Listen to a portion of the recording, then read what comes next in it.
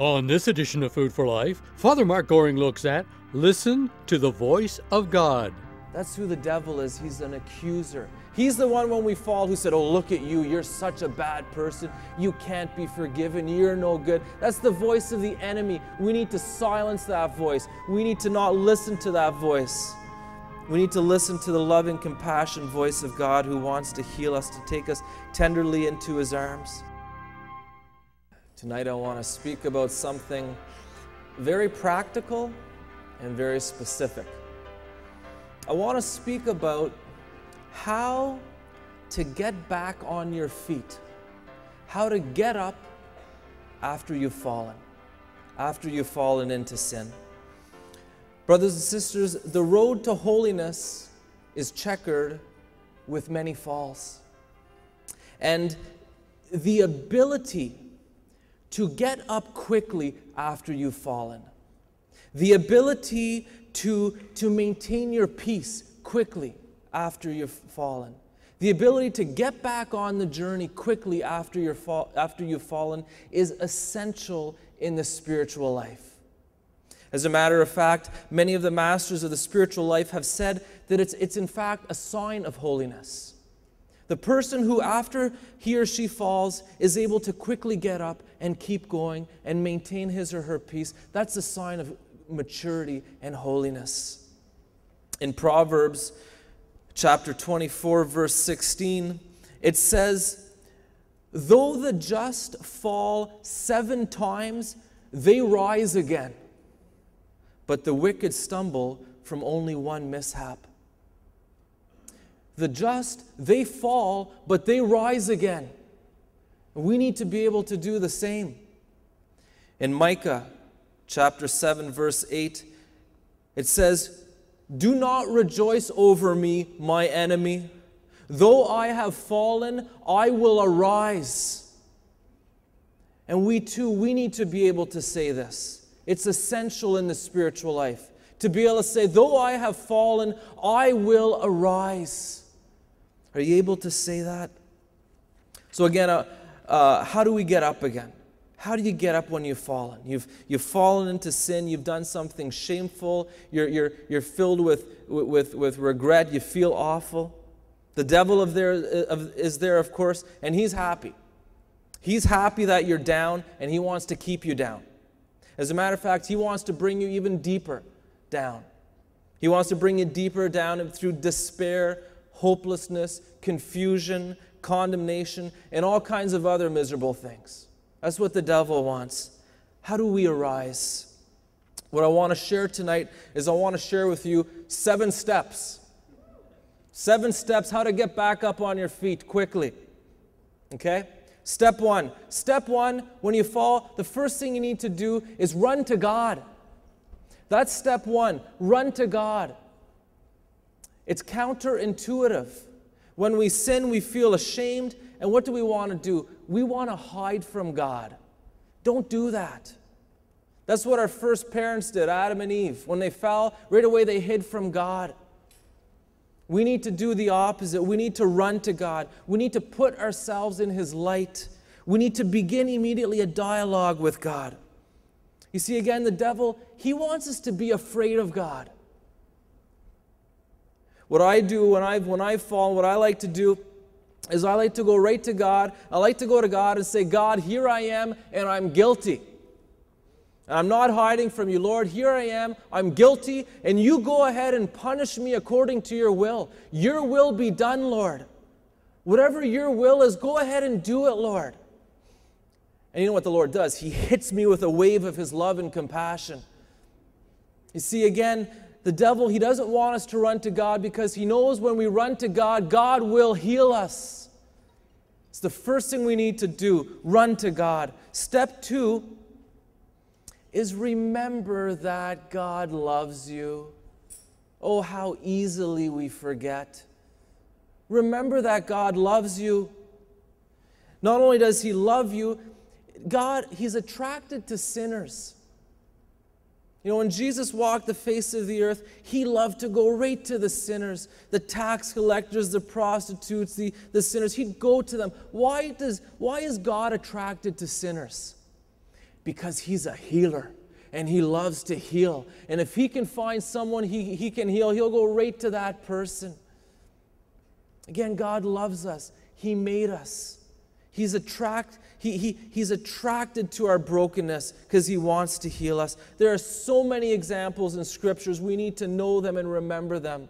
The story of the prodigal son, the son who demands his share of the inheritance, and he goes and he squanders it all and he decides to go home and hopefully maybe his dad will let him be a slave. And from a distance his father sees him his father runs to him he embraces him kisses him and throws a party because his son is home.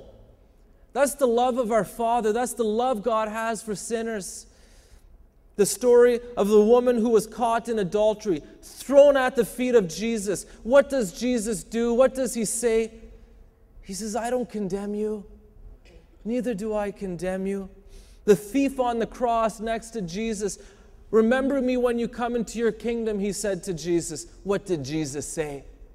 He said, This very day you will be with me in paradise. That's the love of our God, the love he has for sinners. The story, the parable of the shepherd who had a hundred sheep, he leaves his 99 sheep and he goes after the lost. That's the love our God has for the lost, for the broken, for sinners. Peter, the one who was so close to Jesus, he denied Jesus three times. And what did Jesus do when he saw him next? He said, Peter, do you love me? He didn't condemn him, he didn't accuse him. Jesus didn't come to condemn the world. We know that. John chapter 3, verse 17. For God did not send his Son into the world to condemn the world, but that the world might be saved through him. That's our God. That's the one we run to, even after we've sinned. Now, who's the one who accuses us? Who's the one who condemns us? It's the evil one, it's the devil. In Revelation chapter 12, verse 10, it says, For the accuser of our brothers is cast out, who accuses them before our God day and night. That's who the devil is. He's an accuser. He's the one when we fall who said, Oh, look at you. You're such a bad person. You can't be forgiven. You're no good. That's the voice of the enemy. We need to silence that voice. We need to not listen to that voice. We need to listen to the loving, compassion voice of God who wants to heal us, to take us tenderly into his arms. God's love for us is not conditional. It's not like God says, Listen, you were really good yesterday, so yesterday I loved you a lot. But today you haven't been doing as good, so I don't love you as much today. That's what's called conditional love. God's love is not conditional, He loves us no matter what even in our sins, even in our brokenness. Why? Again, because we're his sons and daughters. Again, when we've sinned, we need to, we need to remember his love. We need to receive his love. Step number three it's very good when we've fallen to take a moment and to remember and to, to, to, to, to have a little reality check to remember our fallen human nature. It's healthy to remember that. Weakness, brokenness is part of being a fallen human being. Every one of us, all of us, fall into sin. Amen? Amen? We all fall into sin, and it's good to remember that. You think I'm giving this talk based on theoretical knowledge? We all know what it's like to sin. We all know what it's like to have to get up again. And it's good for us to remember that, to have that healthy reality check. Welcome to fallen humanity. This step involves a humbling of ourselves a little. Oftentimes we're shocked. Oh, I'm shocked. I'm not perfect. You know, oftentimes in our shame, there's a subtle pride. A subtle pride we, we think to ourselves, how could I do something like that? And again, we have to be careful. We have to be careful of that. The truth is, we all need a Savior. We all need a Redeemer. We all need a healer. Every one of us, brothers and sisters, is a work in progress. And we need to accept that. And I'm not talking about excusing sin, you know, pretending it's not there or pretending it's not a big deal. Sin is a big deal. But God's love and mercy is infinitely bigger than that. And so, again, we need to have a healthy um, understanding. You know, when I, when I sin, I try, to, I try to say to the Lord, Lord, I've sinned and I'm not surprised. As a matter of fact, I'm surprised I don't sin more. I'm surprised you, are so merciful to me that you give me so much grace that I don't sin more. But I'm not surprised that I've sinned because I know without you I can do nothing. And I thank you that I don't fall into to, to deeper sins. Again, we need to have a humble approach. We need to allow the Lord to humble us. We will continue with the teaching by Father Mark in just a moment. The Food for Life ministry is only made possible by the financial donations from you, our viewers. We ask that after the program, you prayerfully consider a tax deductible financial donation to help us continue this Catholic television ministry. To save postage, you may now make your donation online. Just go to our website and follow the link. Thank you for your prayers and support. And now back to Father Mark Goring. Step number four. Step number four is to simply ask God to forgive you. To say to the Lord, Lord, I'm sorry. Will you please forgive me? And I encourage you, say that in your own words from your heart. And once you've done that, then I suggest you bring closure by praying an act of contrition. Or if you don't know the act of contrition, Pray, you can pray Psalm 51. If you don't have a Bible, just pray the Our Father. Because in the Our Father, we pray, Father, forgive us our trespasses. And when we pray that, He does. Otherwise, He wouldn't have asked us to pray that prayer. Bring closure by praying a prayer like that. And then it's very important don't do that again. I mean, when someone comes up to me and says, Hey, I'm sorry for what I've done, would you please forgive me? And I say, Yes, I forgive you. Well, if they come up to me 10 minutes later and say, Oh, I'm really sorry for what I've done, would you please forgive me? I'd say, Dude, I just forgave you. Don't you, don't you believe that I've forgiven you? It kind of hurts. And if a week later, oh, I'm really sorry for what I've done, would you please forgive me? I say, hey, I've forgiven you. And it's the same with God. Tell him you're sorry. Make an act of contrition or something like that, and then receive his mercy and then don't go on saying, "Oh, I'm so sorry," and until I'm so sorry. You know, if anything, if you're still remembering how bad you feel about it, thank the Lord. Lord, thank you for forgiving me. Thank you for your mercy. You know, this uh, staying in self pity, it just doesn't help any. And it's also not a good time after we've sinned to try to kind of figure out, like, why did I do that? And how can I do things different? And I need to come up with a strategy and, you know, what went wrong. There is a time and a place to do that, but it's not right after you've sinned. Don't put yourself through, through that mental anguish. Just simply receive His mercy and go on. Again, if anything, just keep thanking the Lord for his mercy. Don't keep saying, Oh, I'm sorry, I'm sorry. Step number five now recommit yourself to the journey. Every one of us, brothers and sisters, we're on a journey towards the promised land. Jesus is the way, and we're walking with him. And yes, this journey, it, it, it's, it's a hard road. It's a hard road, and yes, because we're a work in progress, we're going to fall again many times. But again, we need to, to recommit ourselves that I'm going to I'm to continue on this journey. Even though the process of growing in virtue um, takes time, it's, it's a slow process, we grow little by little, I'm going to continue. And again, when the devil tries to discourage me or try to, tries to make me fall into discouragement, what I like to say to the devil, and this bugs him, I say to him, I say, you know what? I'm never giving up. I don't care if I fall a hundred more times today, I'm not giving up. I'm not giving up for the rest of this month, for the rest of this year, and for the rest of my life. I am going to keep walking on this journey. I'm going to keep trying for the rest of my life, no matter how many times I fall. And again, the devil can't stand that because, because we have confidence in God. And with that confident attitude and trust in God and perseverance, we'll make it. Jesus says in Matthew chapter 24, verse 13, But the one who perseveres to the end will be saved. Step number six.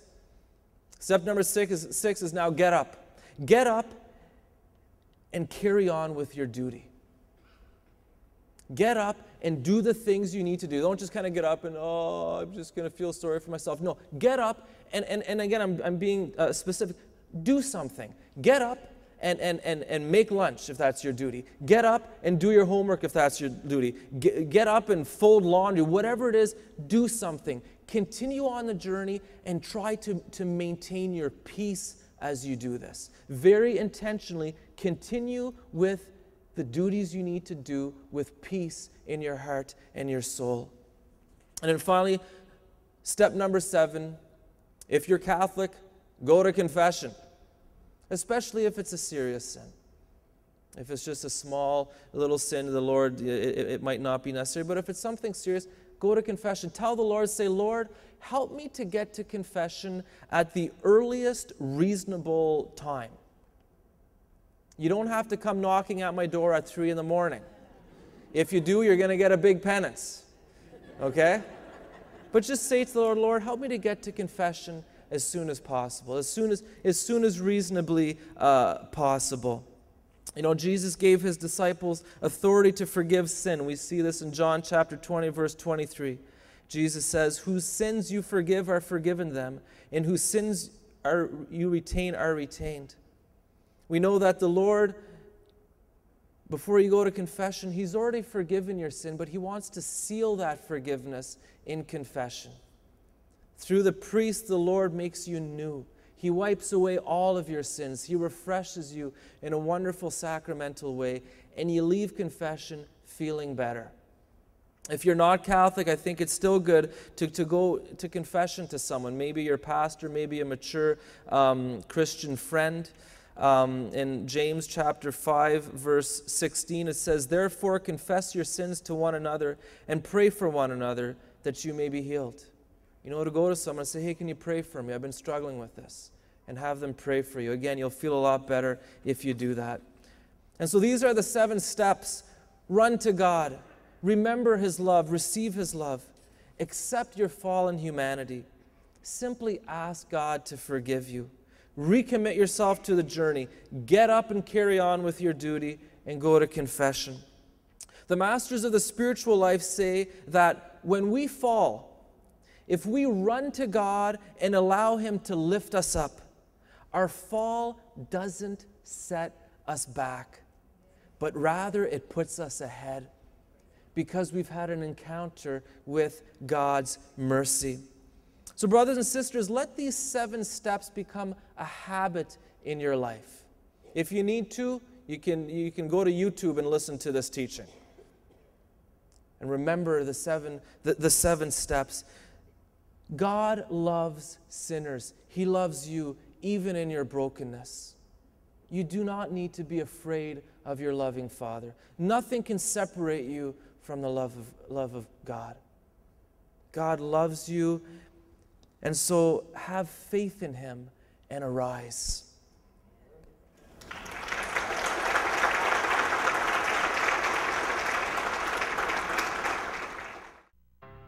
You can watch this episode of Food for Life or previous episodes 24 7 anywhere around the world on YouTube. Just visit our website, foodforlifetvministry.org, and click on Watch Now on YouTube.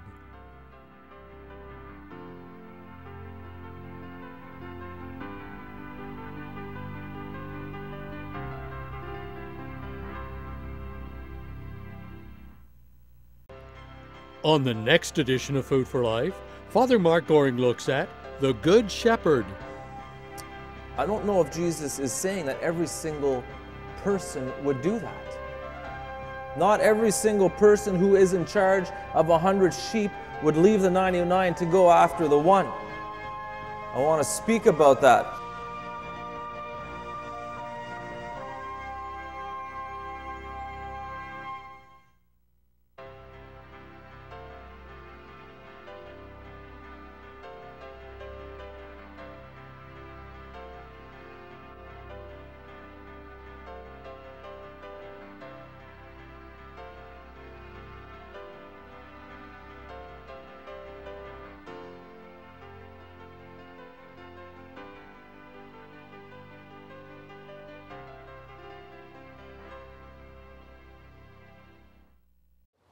Do you like westerns? I do, even though I haven't seen one in a while. But one of the neat things about a western are those frontier towns.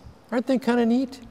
You know, you, you come in to this town, which is, you know, often in the middle of nowhere, and you come down the main street, you know, the street, and on your left you might see, you know, a bank with, you know, two levels and kind of a big front, followed by, you know, the general store, um, you know, with, with big windows and a porch and maybe rocking chairs.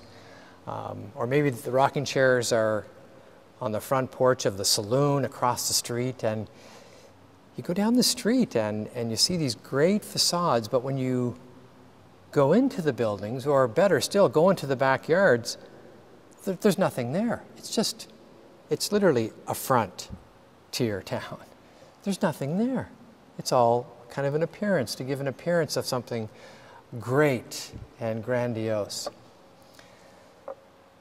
Well, our lives can be like that. That we can have a great front, as it were, a great facade, a great presentation, even, where from the outside we look like we've really got things together. And maybe that's our work. You know, we, we're very proud of our work and, and it's a very important part of who we are and how we're perceived. Or maybe it's our, our material well-beings. You know, we have a very nice home and, and a nice car and we look like we really have it together.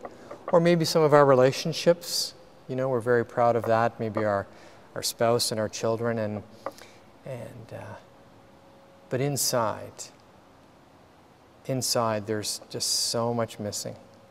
There's, there's an emptiness. There's a lack of peace. Jesus spoke about this often. Jesus, when he spoke about the, the leadership of the day in his time, he was he did not mince words about the Pharisees, for example, who, for them, their front was their religious practices, that they were uh, they were particularly meticulous about religious practice, and, and, and, as a matter of fact, they had augmented um, a number of the religious practices. And yet, Jesus, despite their piety, um, Jesus was very severe with them because he, he could read hearts. He knew that their heart, many of them, their hearts were in the wrong place, that while on the outside they performed very pious practices, that inside their hearts, was impurity and hatred, which would have been manifested in their actions and how they, and how they treated people outside of their religious practices. And so the Lord wants to tear these fronts down. He wants to tear these facades down, not just because they're unjust, but because they make us unhappy that we, we have propped ourselves up with a wonderful presentation through the things that we do or the things that we have. And yet, many of these things are in vain. Or we do them so that people will love us and care for us. And Jesus is saying, I want you to be free. I want you to be free from needing these things for your own self worth and to get affirmation from others because they don't in the end they, they don't give you the, the affirmation and the care and the peace that you're looking for. I want you to be free. So that's what Jesus does. Jesus comes into a frontier town and he says, All this must go. What Jesus does is, is he comes into a town and he builds it out. He places depth Jesus goes in and he sees beyond the facade. That's why Jesus in Matthew 5 said, Blessed are the poor in spirit. Blessed are those that maybe don't quite have the front and then don't quite have the facade. Blessed are those that maybe don't present so well. But behind the presentation is the kingdom of God because the poor in spirit have the kingdom of God. So Jesus is more about what goes on behind the scenes. Jesus is about what's going on inside the heart.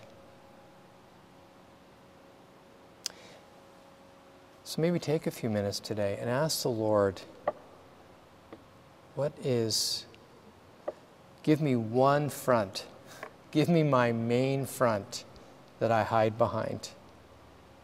Give me that one thing where I take so much pride and pleasure and yet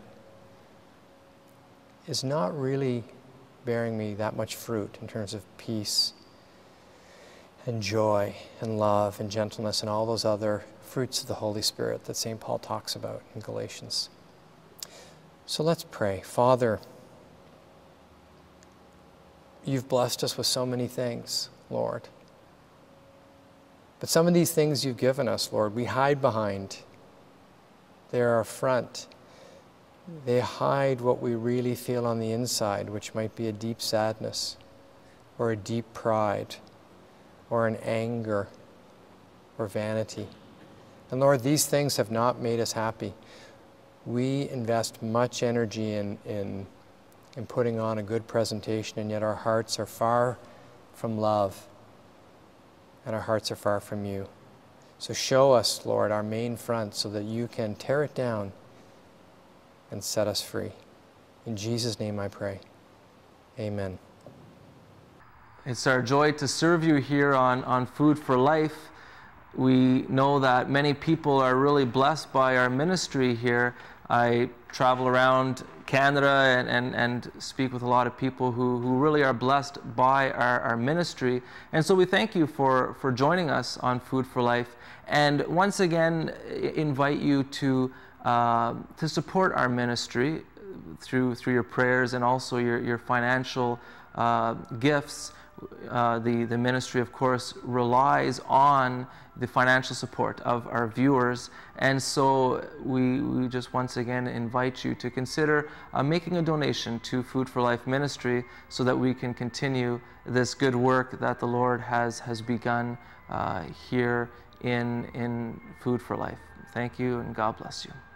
You can watch this episode of Food for Life or previous editions 24 7 anywhere around the world on YouTube. Just visit our website, foodforlifetvministry.org, and click on Watch Now on YouTube. Food for Life is a non-profit Catholic charity funded only by donations from viewers. To help us continue this Catholic television ministry, please send your tax-deductible donation to Food for Life, Box 1107, Station F, Toronto, Ontario, M4Y2T8. To save postage, you may now make your donation online. Just go to our website and follow the link. We ask you to consider a regular monthly donation, either by post dated checks or through our website, to help us continue the Food for Life ministry.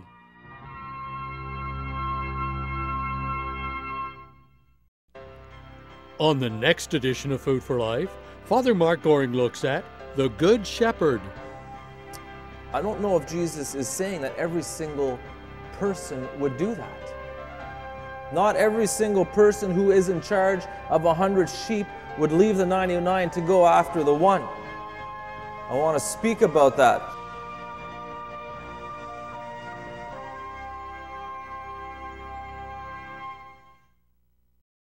We would like to thank you for your financial support of the Food for Life television ministry.